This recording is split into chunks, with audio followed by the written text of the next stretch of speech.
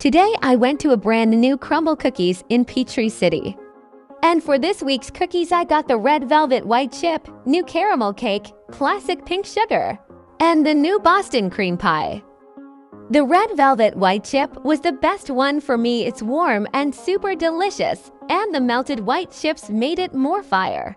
It's a 10 out of 10 hands down. The caramel cake was super soft, warm, and the caramel glaze was so yummy I loved it. Perfect touch of sweetness, it's a 9 out of 10. My first time trying the classic pink sugar cookie, and I was surprised how amazingly bussin' it was. That almond flavor is yummy. It's honestly one of the best sugar cookies I've had. It's a 8 out of 10. The Boston cream was really tasty and perfect if you don't like overly sweet cookies. The pastry cream is light. It's a 7 out of 10. I wish they put more chocolate ganache. I previously had this snickerdoodle and it was the bomb.com 10 out of 10 yum yum.